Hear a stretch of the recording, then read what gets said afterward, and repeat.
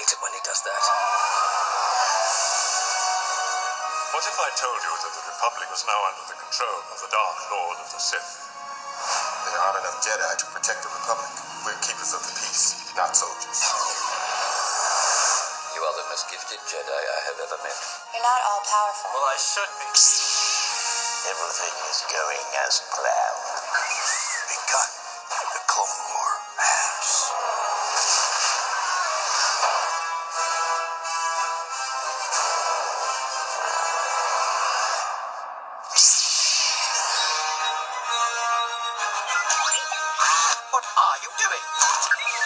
Is such a drag.